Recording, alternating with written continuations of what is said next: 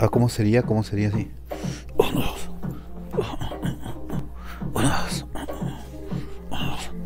Ah, estoy en vivo. Esta vez teniendo un poco de boxeo aquí, ¿no? Porque ahora está de moda comenzar a pegarle a la gente en la calle, así que por ese lado... Dios mío, ¿no? La, la violencia se ha multiplicado de una manera increíble. y parece que la tía Pita está metida en todo el mijunje también, ¿no? Así que no sabemos qué habrá pasado, ¿no? Pero vamos a comenzar a comentarlo dentro de este programa. Así que no te lo puedes perder y compártelo. Regálame un like y un dedito arriba. De esa manera nos posesionamos, nos posesionamos dentro de este canal en YouTube. Esperando que todos ustedes en casa estén súper bien, Rodolfo del Prado viene una vez más para luchar por la justicia y también por la humanidad hacia los superhéroes. Por supuesto que sí. Y el día de hoy no será la excepción. Vamos a hablar de la tía Pita.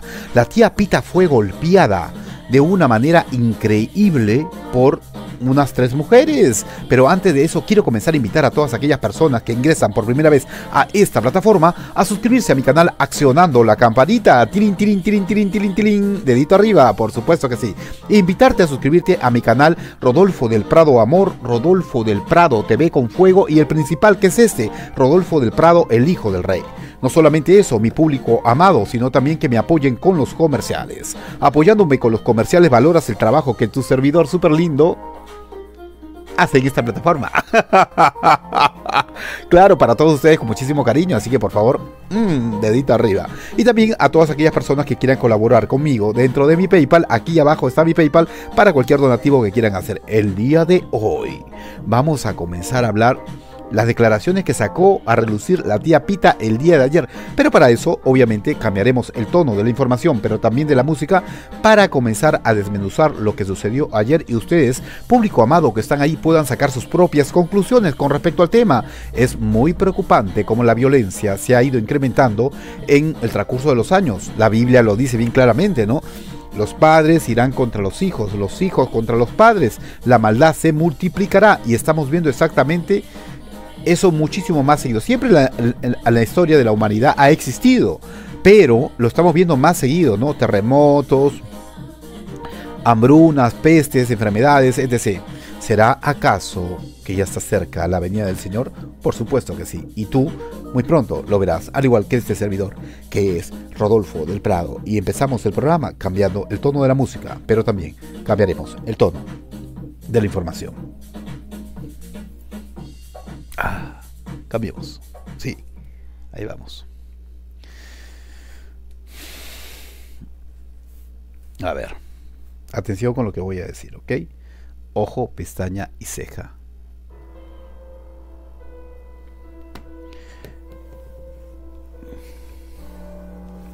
La tía Pita salió en su canal de YouTube denunciando que había sido golpeada por unas fans de Chiques Rivera. Lo misterioso de todo esto que en el canal de la tía Pita colocaron dos videos. Uno de ellos era la tía Pita manifestando y contándole de una manera atroz, desgarrada en dolor y a punto de las lágrimas, lo que había acontecido con respecto al tema con ella.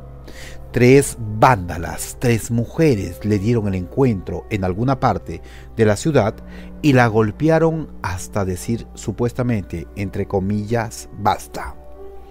¿Qué puede conllevar a tres mujeres tratar de golpear a una señora de aproximadamente 74 años de edad? Lo misterioso de todo esto es que ese programa fue borrado de su plataforma y ya no se encuentra allí.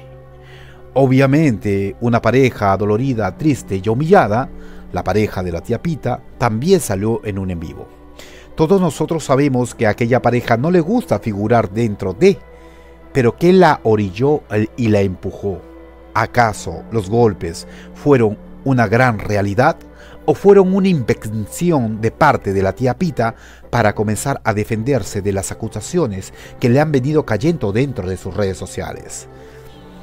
Todos sabemos que después de las declaraciones de su hijo, muchas personas comenzaron a rascarse las vestiduras diciéndole una serie de cosas a la tía Pita. Recordemos Algunos días atrás, el hijo de ella, Sebastián, salió a denunciar a su madre que ella había tenido una relación pedófila con una niña de 15 años. Pero todos sabemos que aparentemente esa niña tenía costumbres un poco extrañas. Nosotros vemos muchas veces en la calle jóvenes que son de casa, muy buenos y obviamente sufren tocamientos indebidos de personas adultas. Pero también hemos visto chicas que están en la calle, que se crían en la calle, que saben más que una persona adulta porque están recontra recorridas. La pregunta del millón de dólares es, la pareja de aquel entonces de la tía Pita, donde en el programa de Jorge Carvajal reconoció que tú, teniendo ella 28 años, tuvo una relación con una menor de 15, ¿acaso es una mujer pedófila? Y la pregunta del millón de dólares, ¿o no? O la otra estaba tan agrandada. Yo no puedo aseverar nada porque no conozco la otra parte de la historia. Pero una persona que se mete con una menor de edad, obviamente termina haciendo lo que acabamos de decir, que no lo puedo repetir muchas veces, obviamente, porque YouTube no lo contempla y tampoco lo permite. Dentro de toda esta historia, el hijo de la tía Pita salió, bueno, el que ya está operada las tetas y todo lo demás, y ya está una transformación que parece hombre, ¿no? El, tío hijo de la tía Pita también denunció en aquella entrevista por medio de un canal de YouTube que ella se había propasado con una niña de 12 años en tocamientos indebidos. Esto generó el colapso de las redes sociales y me imagino también el odio de muchas personas que son homofóbicas.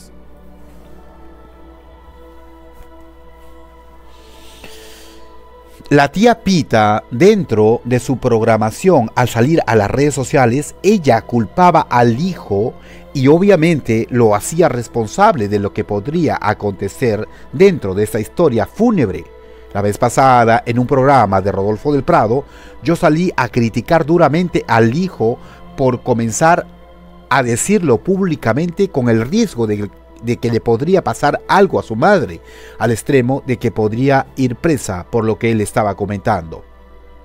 ¿Qué hijo que quiere a su madre comienza a despotricar sobre ella con cosas que pasaron y que ya están enterradas supuestamente en teoría? Y que no tiene ningún tipo de prueba para probar que los tocamientos indebidos a una menor de 12 años fueron efectivos. Lo que sí se podría probar es que ella tuvo una relación con una menor de edad, teniendo 28 años. Y en este canal obviamente defendimos a la tía Pita con respecto a los comentarios que su hijo hizo en algún momento. Básicamente porque los platos sucios de, de todas estas cosas, de estas porquerías que estamos viendo, se deberían de lavar en casa. Si bien es cierto, la relación que tuvo ella con una menor de 15 años fue consentida aparentemente hasta por los padres de la muchacha. Entonces, tratar de retroceder en el tiempo sobre algo que sucedió definitivamente es un poco complicado, ¿no? Y mucho más cuando yo no entiendo cómo puede ser que una persona de 28 se haya fijado en una mocosa de 15. ¿Cuál es el tema de conversación allí? Para esa relación. En los años de la época de la tía Pita, obviamente, pues era normal que se metieran personas con, con gente de la edad eh, de, de 12, 13, 14, 15 años, pero eso era un delito. Y que los padres obviamente cuando pasaban esas cosas no lo denunciaban. Porque por ignorancia. En la, en la, actualidad los tiempos han cambiado. Y yo siempre he dicho dentro de este canal y no avalo que una persona mayor de edad de 20, 30, 40 años se meta con una persona menor de edad porque no ha quemado todas las etapas habidas y por haber dentro de su vida. Esa es mi posición con respecto a este tema. Un influencer o una persona que tiene influencia, porque no somos influencers, influencers son personas que tienen que masivamente no influyen sobre otros, pero una persona que tiene indirectamente un canal de YouTube influye un poco dentro de sus seguidores. Si supuestamente la tía Pita la, de, eh, la hija de la tía Pita denuncia que podría ser aquella mujer que Chiquis escribió dentro del libro, de su libro, quien la tocó, entonces todos acá comenzamos a especular con respecto al tema. ¿Por qué motivo Chiquis Rivera no ha salido a aclarar el problema? Primero, hay un problema ahí con la herencia de su madre. La tía Pita está enfrentada con la familia Rivera. Por muchas razones y circunstancias que ustedes ya conocen y que yo no voy a entrar a tallar aquí, porque ya la conocemos bien claro que en el canal de ella muchas veces se ha sentado a hablar cosas personales dentro de la familia, ¿no? Entonces, una forma de llevar la armonía familiar y estar bien con la familia de parte de la abuela de ella es callarse la boca y no prestarse a salir a aclarar el tema. Uno, puede ser una opción, ¿no? No, no voy a aclarar porque yo acá hay cosas más importantes. Uno. Número dos, que de repente, quién sabe, de repente digo yo, no lo puedo confirmar, la tía Pita sí fue aquella persona que la tocó dentro del libro que ella colocó y escribió. De repente sí, y una forma de querer dar lástima es que ella haya inventado todo el proceso de la golpiza que supuestamente recibió en algún momento. Eso puede ser otra opción. Ahora, la tercera parte. Una persona que tiene influencia o un influencer que tiene un canal dentro de este de YouTube o, televisivamente hablando, cuando pasan este tipo de cosas, donde la gente comienza a arremeter con una persona que puede tener algún tipo de conflicto contigo, tú tienes la responsabilidad de salir y apaciguar las aguas, porque de por medio también está la vida de la otra persona. En este caso, por ejemplo, en el caso, vamos a ponernos como ejemplo yo. Si yo tuviera un problema con un influencer que podría ser eh, Jorge Carvajal, y de repente mis seguidores lo están atacando y lo están amenazando, yo tengo la responsabilidad aquí de salir y decir qué cosa es lo que está pasando aquí en el gallinero. ¿Qué pasa? El problema es con el señor Carvajal y yo. Nadie tiene por qué venir a amenazar a nadie. Y yo rechazo y, y reploro esa situación. Entonces salgo a, poner las cosas como se tienen que colocar en su momento. Ahora, yo vi el video donde la tía Pita sale golpeada. Y obviamente sus, eh, expresiones venían acompañadas con un poco de dolor. También podría, lo que podríamos decir aquí es que definitivamente las fans eh, al enterarse que pudo haber sido tocada la chiquis, pudieron haberla visto en la calle y la pudieron haber golpeado. Pero también podría ser que la familia Rivera, como tiene un historial un poco extraño, y no lo aseguro, solamente lo comparto y lo comento, la pudieron haber mandado a golpear, pero no creo, la verdad, no que son cristianos. y no se supone que la, la vida, el ser superior, o sea, Jesucristo, se encarga en su momento de aquellas personas que te hacen daño, voy a recitar un verso bíblico que dice lo siguiente. Si tu enemigo tuviere hambre, dale de comer. Si tuviere sed, dale de beber. Pues haciendo esto, aguas de fuego amontonarás sobre tu cabeza. Mía es la venganza, dice el Señor. Y Él se encargará de tus enemigos. ¿Qué quiere decir esto? Que si alguna persona tiene un enemigo, yo soy cristiano, tengo un enemigo y quiere atentar contra mí de una u otra manera, yo lo bendigo, le deseo bien, que le vaya bien y no, y bueno, y queda ahí, pero que Dios se encargará de esa persona que te quiera hacer daño. Eso es lo que dice el verso bíblico. Cuestión que yo no creo que los Rivera, siendo cristianos, golpeándose el pecho dentro de, comiencen a mandar a golpear a una persona. O oh, sí. Chiqui Rivera, te pregunto a ti. Lupillo, también te pregunto. Juan Rivera, Rossi, la, la matriarca también la pregunta. ¿Ustedes son cristianos? Dios no puede ser burlado. ¿Mandaron a golpear en la pregunta del millón a la tía Pita o no? Solamente Dios lo sabe. Y un buen cristiano no manda a golpear a nadie. Puede ser que estas tres mujeres que atentaron contra la tía Pita definitivamente hayan sido fans de Chiqui Rivera y hayan querido golpearla por las cosas que han acontecido y lo que el hijo ha dicho dentro de. Por eso yo la vez pasada salía a decirle a un hijo, ¿cómo es posible que expongas a tu madre a esta de esta manera? Quería solucionar el problema, te sentabas con ella y lo solucionabas allí, pero exponer a una madre a esto, yo no expondría la mía. A no ser que mi madre sea una asesina, ahí sí cambia la historia. La denunciaría, por supuesto que sí. Cuestión que muchos rumores han ocasionado con respecto a eso, ¿no? El carro que supuestamente tiene el hijo de la tía Pita, según ella manifiesta que sospecha que pudieron habérselo dado a los Rivera para que le hagan ese tipo de daño. Ahora, una mujer de 74 años con tres mujeres que podrían haber sido menores que ella, porque eso es lo que yo creo. Ninguna mujer de 74 años le va a, le va a ir a pegar a otra de 74. Si tres mujeres le pegaron, obviamente le hubieran dejado masacrada a la mujer golpeada hasta decir basta, tirada en el piso ensangrentada. La tía Pita manifiesta que ella pudo haberse defendido con una, pero con dos, pero no con tres. La pareja de la tía Pita salió desconsolada dentro del canal a comenzar a llorar allí. La pregunta del millón de dólares. ¿Es realmente verdad esta pelea, este pleito, esta golpiza o es totalmente falsa? No lo sabemos. Prefiero yo desde esta plataforma dejarlo en duda, pero a lo poco que yo pude ver me pareció que parecía que era verdad. Las lágrimas de la pareja también. No lo puedo confirmar, pero hay algo poderosamente que me llamó poderosamente la atención. Las declaraciones de la dama venenosa.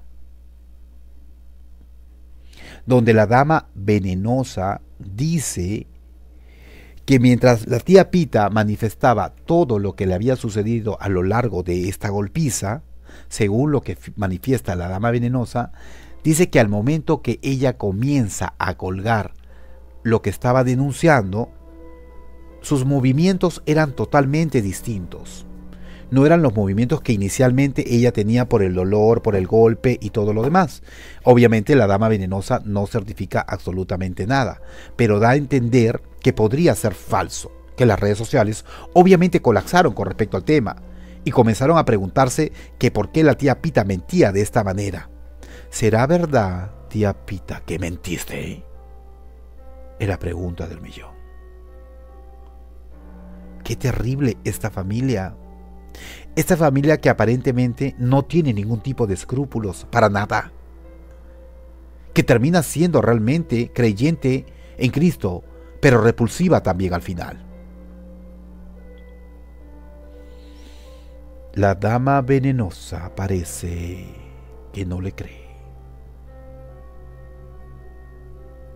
Dentro de toda esta historia, la dama venenosa también dice que le encantaría entrevistar al hijo de la tía Pita y que obviamente todas aquellas personas que quieran dar su manifestación con respecto a algunos hechos que pasan en el mundo del espectáculo y de la farándula, hablando de términos generales, podría tener el canal de la Dama Venenosa para ser entrevistado. Pero a una de las personas que la Dama Venenosa quiere entrevistar es a Juan Rivera. Pregunta del millón. Ella le pagaría me imagino que la dama venenosa debe tener mucho dinero para pagarle a Juan Rivera, porque barato tampoco no creo que sea, ¿no? Pero sí le, le encantaría entrevistarlo. A todo esto, le pregunto al público yo aquí, ¿ustedes qué creen? ¿La tía Pita fingió una golpiza solamente para victimizarse? ¿Es acaso que de esa manera, de repente, quién sabe, tocó a Chiqui Rivera y creando toda esta pantomima, lo está haciendo para que Chiqui le dé lástima y los mensajes subliminales podrían estar bien claros y no diga Chiquis quién fue quien la tocó. ¿Será verdad que le golpearon, la golpearon a la tía Pita o será mentira? ¿Será verdad que de repente, quién sabe, digo yo desde acá, la mandaron a golpear? ¿O es mentira? Si en caso Chiqui Rivera saliera a decir que fue la tía Pita, mamacita, dedícate a otra cosa que no sea el YouTube, porque lo más probable es que tus cuentas terminen allí nomás y quede mal parada ante la sociedad que muy pocos te que van a querer ver. Porque la chiquis tiene bastante gente que la sigue. No sabemos. Pero lo que yo sí creo aquí, que es la responsabilidad seria de un youtuber, salir a tomar el toro por las astas y poner en orden el gallinero. Porque si es verdad que la tía Pita fue golpeada por las fans de Chiqui Rivera, podríamos decir aquí que su vida corre peligro dentro de porque uno tiene la responsabilidad como influencer con sus seguidores de salir a poner el orden y mucho más cuando supuestamente tienen a Cristo dentro de su vida. Habiendo dicho lo que acabo de decir, Rodolfo del Prado va cambiando el tono de la música y de la información para comenzar a despedirse. Muy mal, tía Pita. Yo soy seguro de una cosa, si bien es cierto, el video de la tía Pita ya no se encuentra en el aire. ¿Por qué? Porque tuviste miedo, porque fuiste amenazada y amedrentada. Con mucho más razón debiste haberlo dejado allí, porque de esa manera pruebas de que hubo una golpiza. Lo que sí estoy seguro, como youtuber, que no lo, no lo borró, lo bloqueó y no está disponible para el público, pero que lo tiene allí y que yo le invito desde acá, desde esta plataforma, a que lo vuelva a sacar para que no quede en duda lo que ella salió a manifestar en ese momento y para que quede como prueba de lo que sucedió. Uno no debe de sacar esas cosas. Esas cosas deben de quedarse allí para que quede como prueba, señora Pita. Pero en fin, solamente Dios sabe la verdad y cambiando el tono de la música, pero también de la información, vamos a comenzarnos a despedirnos del público como es la costumbre de Rodolfo del Prado, diciéndole que en la vida absolutamente todo lo que hagas es actitud, que pena de dos termina siendo menos atroz y que yo soy. Rodolfo del Prado. Y yo soy el hijo del rey viniendo a decir la verdad, nada más que la verdad y solamente la verdad al público. Nada más, tal cual. En fin, le mando un beso, los quiero y nos vemos después. Bye bye.